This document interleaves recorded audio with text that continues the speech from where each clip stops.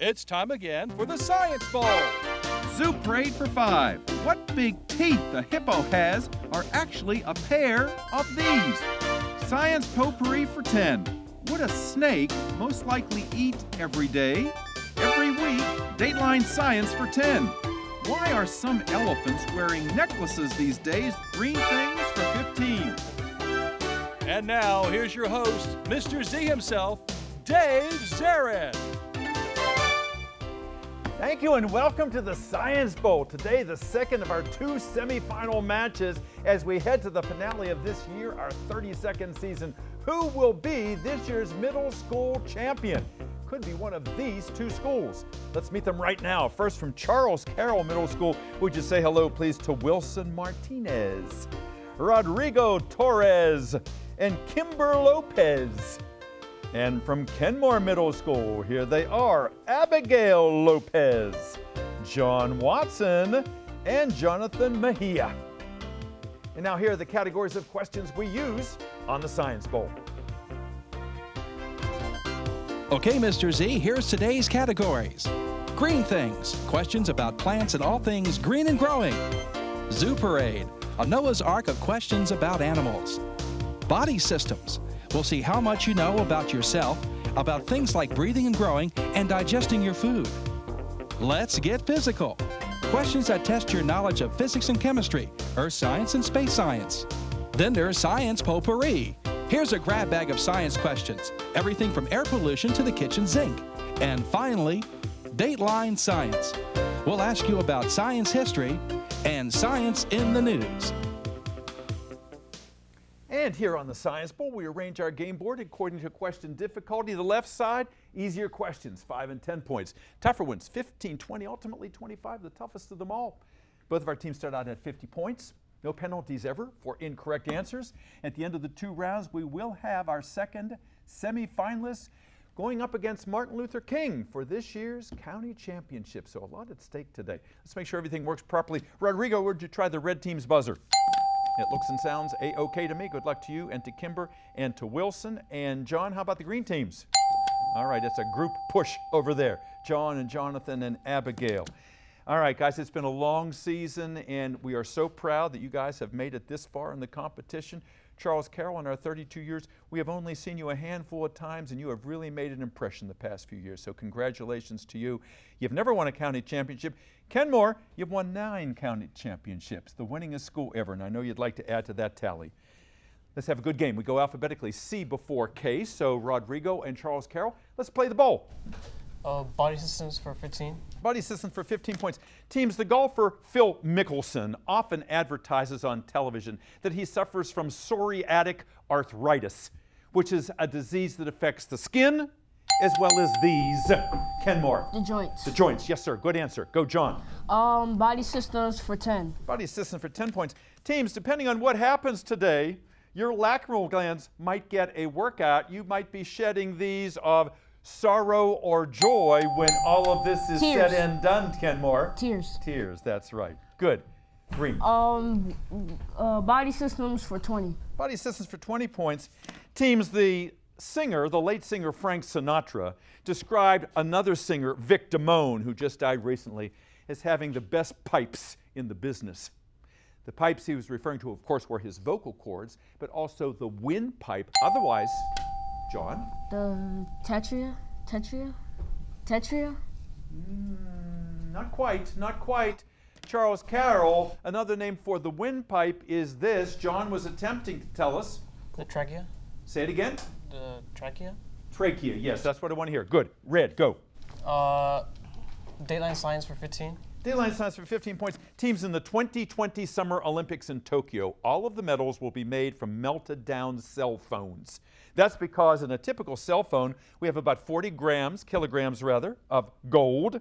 We have about 48 kilograms of silver and about 29 kilograms of this. Bronze. Kenmoor. Bronze. Bronze is right, yes. Just wait till we recognize you, John, before you give the answer. Uh, I just appreciate that. Go again, Green. Good start. Go. Um, body systems for 5. Body systems for five points. Teams, if you say something that you wish you had never said, people say you've got this body part in your mouth. Kenmoor. Mm. Your brain? No, no. You say something you wish you hadn't said, so you put your what in your mouth? Your tongue? Your foot in your mouth.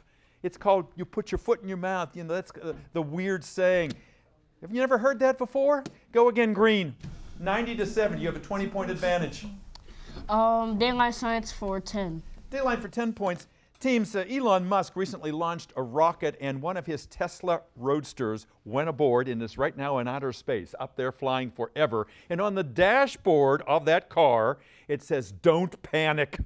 That is a line from the famous book that Douglas Adams wrote, The Hitchhiker's Guide to the What?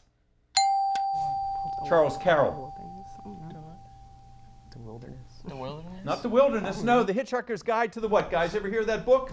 The Galaxy, The Hitchhiker's Guide to the Galaxy. I know you guys are readers. I hope you read that book. Go green. Um, zoo parade for 10. Zoo Parade for 10 points. Multiple choice question. Teams in the movie Jurassic World. When this structure was breached, and I will give you choices, all of the pterodactyls threw out, flew away. Was it when the helicopter crashed into it, the aviary, the ossuary, The aviary. the aviary, not the ossuary and not the apiary? Yes, indeed. Good. Go green. Um, zoo parade for 15. Zoo Parade for 15 points. Teams, bats are not only the only mammals that fly, they're also the only mammals that when they reproduce do it through the breech method, which means they're born how? What is a breech birth? It's when the feet come out first instead of the head. Go green.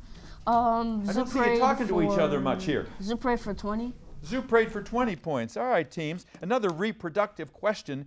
You know that we are placental mammals, whereas kangaroos are marsupial animals. Well, when a kangaroo gives birth, since it has no womb, it gives birth to a joey, which is really an undeveloped one of these. Fetus. Fetus, exactly right. Yeah, and then it goes inside that pouch and continues development. Nice answer. Uh, go, John. Um, body systems for 25. Body system for 25 points. All right, teams, your uh, big question in that category is as follows Another name for your outer ear is the same word that can be used to describe one of the two upper chambers of the heart. What is that word? The a- atrium. Not the atrium. Good try, Charles Carroll. The name for the outer ear is also the same word that can be used to describe one of the two upper chambers of the heart, Rodrigo. The ventricle? It's called the auricle. The auricle. A U R is a word that gives you this, the idea that it is involved in hearing. All right, the buzzer has sounded. 70 for Charles Carroll, 120 for Kenmoor. Round two coming straight up. Don't go away.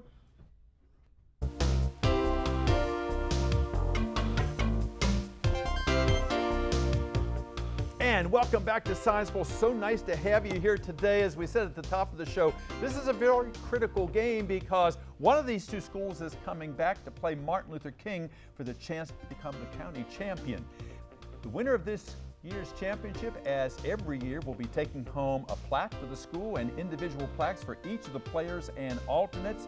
And everybody today, as a tribute to all of their skills and for advancing this far in our competition, they're taking home Audubon field guides in a field of their choice. If they like reptiles or birds or mammals or the weather or fossils, we've got a book and we hope they cherish this for their life and uh, look at some of those great pictures if they go out into the field and become and continue to be the naturalists that they are.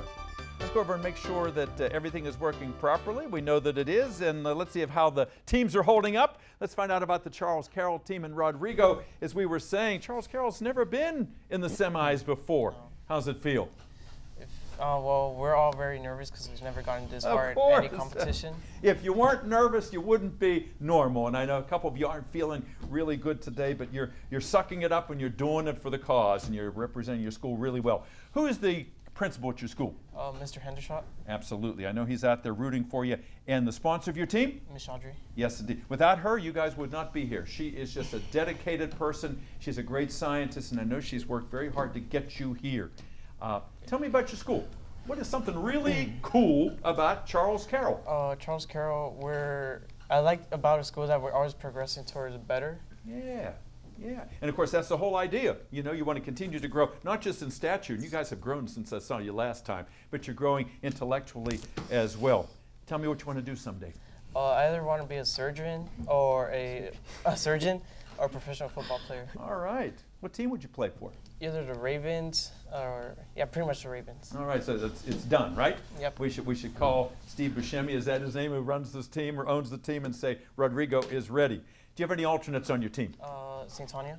Okay, he'll be out in a few moments. Kimber, nice to have you here. Young man who plays soccer and you like to read. And what else do you do in your spare time? Um, I'm mostly on my computer most of the time, or I'm you know doing homework, studying up, or um, I like to play Fortnite as well as the cameraman. Uh, Yeah. That's a fun game. That's good. Regular guy, doing all the stuff you should do at this age. And where do you see where do you see yourself in the future? Uh, you know, after I, I I plan to go to college, and I plan to do something to that that'll give back to the community, Yeah. give back to the people who um, helped me so much to reach where I am today. I love what, when you say that, you know, it's not always about me, me, me, what I'm going to do. Of course, you've got to be your best me, but you're already thinking about giving back, and I applaud you for that. Wilson, nice to have you with us today. How many times have you been on the show? Uh, Is this your third time? At maybe least. maybe my fourth. Maybe your fourth time, yeah. What do you like about the Science Bowl? I mean, it's interesting because you never know what's gonna come up next as a question. So like, it really tests your brain out. Try to keep you guys on your toes, right? Yeah. Uh, tell me about what you do in your spare time. Honestly, um, either producing or graphics design. Graphic design. Would you like to do that professionally someday? Not really, no. Not really. What, what, what are you thinking of, if anything, right now? Uh, honestly, just a pediatrician for now. Pedi- pediatri- I remember you mentioning that last time too. Do you have younger brothers and sisters at home? Yeah, just a smaller brother. Yeah, all right. So you're getting some practice in right now. Nice to have you back. Kenmoor, nice to have you guys here. And John, tell us the Kenmoor story. We were saying how many championships Kenmoor has won. What's the Kenmoor secret? Maybe you don't want to share it. Well, we just have great teachers that teach us as the best that they can. Wow. All the Kenmoor teachers listening, their chests just puffed out because you did such a nice thing by complimenting them. Who's your principal there? Miss Fugly. Yes, and she's been there for many years, and she is a one, she runs a tight ship over there. And uh, you guys are successful because of her efforts and because of who's your sponsor. Miss Sanchez. That's, and we'll be out in just a few moments' time. Also, has done a wonderful job. Uh, John, any alternates on your team? We have Isitu and Diego. Wonderful. We'll bring them out, and give them some FaceTime in a few moments here. And John, uh, you uh, you love to read and read and read, and it's really paid off because you're a very smart young man. What do you want to do professionally? Well, I want to be a research scientist or a geneticist Yeah, why geneticist? Because I just so fascinated with DNA and the human genome, and that we can uh, unravel some of the mysteries of the DNA. Absolutely. humans. I was thinking when you said genetics about genealogy, I wondered if you'd sent in a sample of your cells to uh, uh, 23andMe to get the, the history of your family. That's kind of neat too, to follow the genes back. You're a good captain. Jonathan, uh, new to the show, and you were recruited by Abigail, and we thank Abigail for doing that. Tell us about yourself. What do you do in your spare time? Uh, my spare time, I do my homework, and then um, sometimes I practice the saxophone and I play video games. Yeah, all right. How long you played the sax? Uh, three years now. Three years, that's wonderful. And you're a soccer player too, aren't you, you said? Okay. Abigail, tell us about yourself. Uh, you're a multi talented and very busy young lady too. What do Yeah. you do? Um, well, in my spare time, I play the cello. I also play soccer, and I play volleyball as well. Oh, and you're I like so reading. you're so humble. You're you able to parcel out your time and do all that? Yeah. Yeah, I, I can see from uh, just watching you play that you're uh, you're a very organized, talented young lady. Let's get back to our game. 120 Kenmoor, 70 Charles Carroll. Lots of points to give away, and we start with John. Um, green things for 10. Green things for 10 points. Teams, if you have the chance to work for Microsoft, do it. Because when you go to work, you have the option of working in an arboreal abode. Meaning, you could go work in one of what? You could go where, John? Um, you can work in trees, trees, Tree houses. tree houses. Tree houses. Yeah, they got tree houses on the campus. You can go up in the tree house. Isn't that cool? As an adult, you got your own tree house. Go green. Um, green things for 15. Green things for 15 points. Teams, an SUV is a sport utility vehicle, but an SAV are the plants that grow on the floor of Chesapeake Bay. That stands for submerged, aquatic, what? Charles Carroll, what's the V? What you got? Don't ring in unless you have an idea. Kenmoor, what's the V? Submerged, aquatic, what? Vegetation. Plants on the bottom of Chesapeake Come on, guys, let's let's start getting those gears going here. Go green. Um, let's get physical for 10. Physical for 10 points. All right, teams. Proxima Centauri is the nearest star to Earth. It is 4.22 of these units away. Rodrigo? Light years? Light years. Yeah, good. Red. Let's go. You need some points. Thanks, Uh, Wilson. Let's get physical for 25. Physical for 20 points. All right, teams. The gases butane, methane, ethane, and propane all have different numbers of atoms of what same Protons?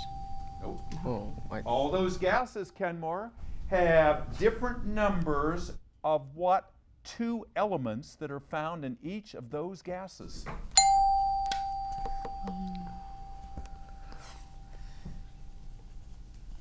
Carbon and hydrogen. Number of carbons, CH4, that's methane. C2H5, that's ethane. It goes the same way. They're known as hydrocarbons for that reason. Go red. Excuse me, is it green or red? Red. Okay, go, Rodrigo. Uh, science potpourri for 25. Science potpourri for? 25. 25. All right, teams. Kind of a tough question for you. When you, if you. All right, so what do you want to tell me? No. All right, here's your question. Science potpourri for 25 points. If a doctor is removing your stomach or your kidney or your appendix, the same six letters are at the end of that medical procedure. An appendix, a gallbladder, a stomach, what same six letters are at the end of that procedure when the doctor takes it out? Kenmoor. Uh, disectomy? Disectomy? Give me the six letters. This, uh, D, I, A, S, T, E, M? I, you're you're kind of all over the map there. The same six letters are at the end of each of these organ removals. All right, now John has given you a big assist. Come on, give me the six letters. Uh, Pastor Kimber. Come on, Kimber, let's do it. E C T O M Y. You got it. E C T O M Y, like an appendectomy. Exactly. Good. Go red. Okay, watch with that buzzer over there. Because you're all holding it. That's why. Go ahead, red. Dateline science for 25. Dateline Science for 25 points is a visual question and a multiple choice question. Look at the monitor, please. Dateline for 25 points. This experiment with a dead frog's legs dangling and electrodes attached to them showed that even when dead, you can make those legs twitch because we have electricity in our body. Of the following three scientists who performed this important experiment, was it Luigi Galvani, Anders Vesalius, or Max Planck? Whose experiment is this, Rodrigo? Uh, the second one? No. Is it Galvani, Vesalius, or Planck? The first one? The first one, Galvani, because galvanic refers to electricity. That's why I threw those in there. That was your clue. Go green. Dateline science for 20. Dateline Science for 20 points. Teams in 1972. That was the last time men walked on the moon. That was the 17th mission of what space program, Rodrigo? Apollo. Apollo, you got it. Apollo 17. Good. Red. Uh, zoo parade for 25. You prayed for? 25. 20 points. All right. Did you say 20 or 25. 25? 25. 25. All right, teams. The reason why hummingbirds and shrews, they're so tiny. They don't live very long. Their hearts beat very fast. They also have a very high BMR, which is a basal what? What, are the, what does the MR? It is why they, they don't live very long. Mortality rate? Again? Mortality rate? Ooh, not mortality rate. That was a good try. BMR. They don't live long because they have a BMR. Their hearts beat very fast. What's the M? What's the R? Um, I pass it to Abby. Come on, Abby, let's do it. Um, Metabolic rate. Metabolic rate. Go again, red. 125, 155. We got a good game here. Come on, Rodrigo. Uh, green things for 25. Green things for 20 points. Teams of the six stages. I'm sorry, what is this? Okay. Uh, 25 in green things? 25 in green things? Yeah, be a little, a little clear here. I'm, I can't hear your 20 and 25s real clearly. Would you look at the monitor, please, for this question? Thank you, judges. All right. This is goldenrod. You've seen it around. It's a common weed. It has been blamed for years for causing hay fever. The poor plant has nothing to do with hay fever because its pollen is so heavy it cannot be blown by the wind. What does cause hay fever is the weed that grows around it that is not as photogenic. What is the name of the plant that does cause hay fever? If you take Claritin, if you know allergy sufferers, you know this plant. It's called ragweed. Ragweed. Go red. Um, green things for 20. Green things for 20 points. All right, teams. The first of the six stages in this is called green bud. I want you to tell me the last stage of this event that takes place at the tidal basin with the cherry trees. What is the culminating event as everybody waits? It starts with the green bud and it ends with what? A bloom. Specifically, bud blooming. what's it called? Everyone waits for this particular thing. Kenmoor, what's the particular thing they wait for? Peak bloom. Say it again. Peak bloom. Peak bloom, that's right. Yeah, when they're all fully opened up. It's like the popcorn is all popped. Okay, go green. Um, let's get physical for 25. Let's get physical for 25. That was a good answer, John. Here's the 25 point question. Teams in Key West, Florida, they're running out of drinking water, so they're going to have to desalinate the ocean. They're doing that. And they're doing it by a process called reverse what? The process where. Yes, Rodrigo. Osmosis. Osmosis. Good answer. Good, young man. Go. Red. Uh, science potpourri for 20. Science potpourri for 20 points. Teams, element number 115 on the periodic table has just been named for this capital city of Russia. Kenmoor. Um, I passed the to Abby. Abby. Moscow? Moscow. It's called Moscovium. Yes, ma'am. Good. Green. Good answer. Um, let's get let's get physical for 15. Let's get physical for 15 points. Teams, when you watch the Olympics and you saw the skaters spin, if they put their arms out, it slows them down. If they pull their arms in, they spin faster. That is known as the law of conservation of angular what? Kenmoor. Energy. Not energy, good try. The law of conservation of angular what? If it slows you down or makes you go faster. Acceleration. Momentum. Angular momentum. Try again, green. Um, science potpourri for 15. Potpourri for 15 points. Teams, if you suffer from brontophobia, you're afraid of this sound that the dinosaur known. Yes. What are you afraid of? Roars. What? Roars. Roar, not a roar. Charles Carroll, brontophobia is a fear of this sound that the Brontosaurus dinosaur supposedly made when it walked. Uh, stomp. Thunder. Thunder was called the thunder lizard. Brontos, brontophobia is a, fra- a fear of thunder. Go again, green. Science potpourri for 10. Potpourri for 10 points. Teams, the name, the brand name of this very expensive kind of watch makes it sound like it's named for a dinosaur, some old bone. Actually, the boys who were the sons of the founder of the company used to call their dad this name because he was so old. What kind of watches are they? It's a brand name. Rolex. Not Rolex, good try. Gotta mean old. Um, I pass it to. Come on, Jonathan. He said, no, no, no, no, no, not me. No, not I was, me. go- I was going to say Rolex too. Okay. Fossil. They're called fossil watches. Go green. Oh, oh, oh, we're not going anywhere. Buzzer says game is over. Looks like Kenmoor has done it. We'll be back in a moment. Don't go away.